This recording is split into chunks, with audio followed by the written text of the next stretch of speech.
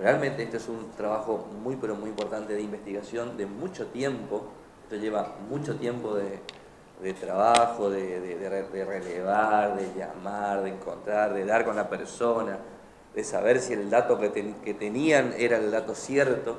Eh, entonces tiene un, tiene un valor eh, realmente muy pero muy este, fuerte, digamos, a la hora de de, dar servicios, ¿no? Este, nosotros le tenemos que dar los mejores servicios a la gente que nos visita, le tenemos que atender de la mejor manera, le tenemos que dar soluciones. Eh, este, es un desafío que nos pusimos en los centros de informe de darle soluciones a la gente que viene y que pregunta por el destino de Misiones. Y, en esto, bueno, era una, una, posibilidad, ¿no? Era una, una posibilidad que la veíamos ya hace un tiempo y en este verano va a ser una oportunidad una oportunidad para que los misioneros, para que los visitantes este, que están llegando a la provincia recorran otros puntos, eh, este, se encuentren con nuevos lugares. El concepto de la escapada, que lo venimos trabajando desde el 11 de diciembre del 2015, eh, este, que creo que, está dando sus frutos, está dando su resultado. Y esta es una... Eh, se suma, digamos, a la, oferta, ¿no? Se suma a la, oferta turística de la provincia va a estar en el, como lo decía él, va a estar en la, web del ministerio y también más adelante lo vamos a subir a la, app, a la app que tiene el Ministerio de Turismo, para que ustedes puedan ahí entrar, bajar eh, y bueno y descargar digamos esta, esta, aplicación. Así que esto lo queríamos lanzar ahora durante la temporada de verano, ya arrancando la, segunda quincena que arrancó hoy.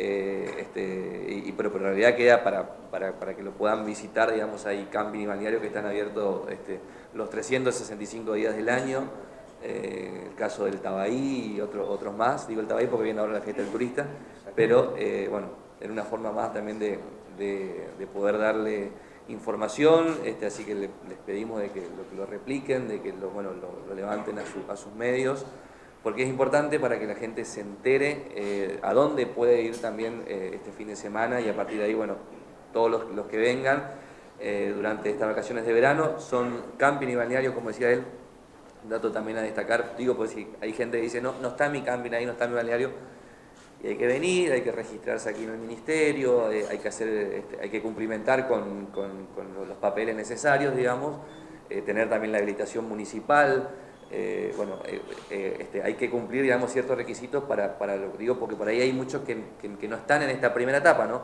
Son 152, son 152. así que, bueno, este, es una, primera versión, la idea es seguir sumando. Arribos a la provincia de Misiones, más de 103.000, también es un, un número importante, de los cuales de esos arribos hay que destacar el cerca del 35% eh, son aquellos que se alojan en casa de amigos o, familiares. Y el nivel de pernocte estamos por arriba de los 358.000, eh, lo cual también nos da digamos, una, variable, la verdad que positiva, para esta primera, estos primeros 15 días del año 2019. En cuanto al nivel de, gasto turístico, eh, nosotros ya hace un tiempo venimos hablando, cada vez que nos juntamos y ustedes me preguntan el tema de, cómo viene el gasto turístico, termino Alejandro porque si me preguntan, eh, estamos en más o menos 900 pesos era el, promedio, hemos subido un poquitito más, estamos en 1011, eh, así que bueno, es, el promedio más o menos, o sea, mil y pico es el promedio de, gasto turístico por, persona por día, lo que deja un impacto económico en la provincia de cerca de 330 millones y algo, eh, 331, 601, 726, y así todo, porque después me retan lo de estadística, pues te pasamos todo el número, al final voy a decir pico y nos quedamos, pero bueno, 331, 601, 726 es el número de, gasto turístico. Eh, y un dato que, bueno, primero voy a, decir el, desglose de, que, está ahí, ¿no? Está ahí el, desglose de Iguazú, Chetipico, Posada. Iguazú, un dato importante, con respecto al 2018, eh, ayer, el, 15 de enero del 2018, se cerró en 90.504 visitantes del Parque Nacional Iguazú. Y en lo que va del 2019 estamos en 90.871. O sea, estamos hablando de por, por encima de los 350 personas más que asistieron al parque. Eh, después, bueno, Posadas 56%, San Ignacio, bueno, ahí ustedes están, están viendo los números, Iguazú hay establecimientos que, llegaron al 90% en, la primera semana. Eh, y después me voy a detener con una cosita de Iguazú nada más para, destacarlo y para, para este, bueno, dejar, en claro algunos, algunos puntos.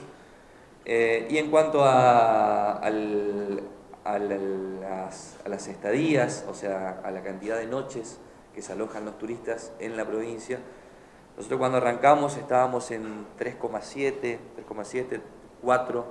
este, ahora estamos eh, ya lo que fue temporada de verano 2018, temporada de verano, temporada de invierno 2018 y este, lo que está haciendo ahora la temporada de verano 2019, estamos en 5,2, o sea, estamos subiendo el nivel de pernocte. Inclusive eh, estamos encontrando algunos destinos de siete o nueve noches, o sea, gente que reserva por siete o nueve noches.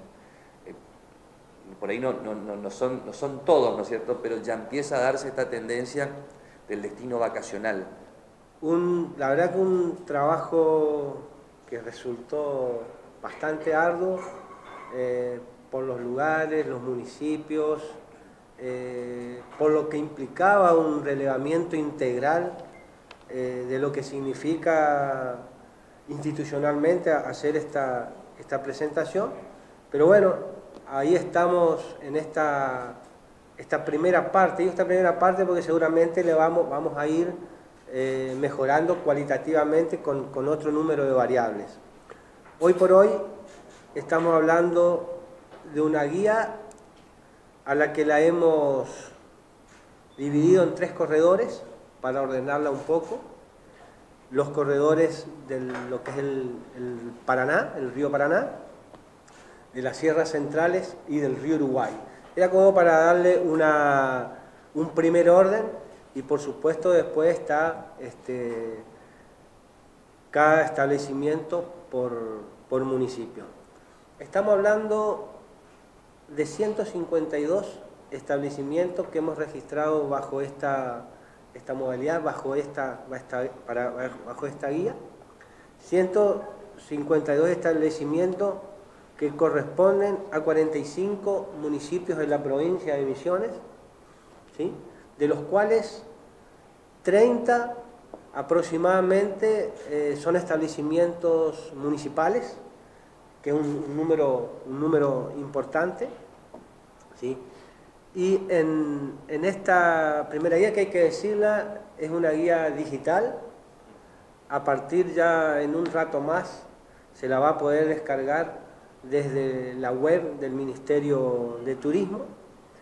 ¿Y qué es lo que, lo que va, va a encontrar la gente?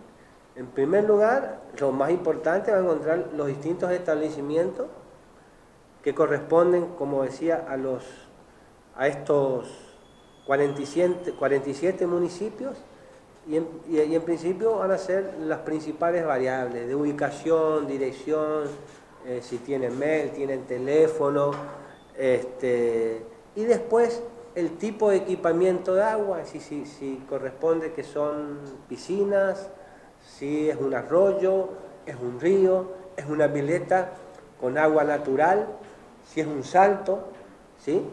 Eh, y después, por supuesto, si eh, aceptan tarjetas, hoy un, tema importante, si aceptan tarjetas, si tiene ducha caliente, fría, ¿sí? Claro. Eh, si aceptan mascotas, si se puede acampar, tiene parrillas y si tiene cabañas. Esta es la, información que hoy este, van a encontrar en, este, en estos 152 establecimientos este, que han sido relevados en esta, en esta primera instancia.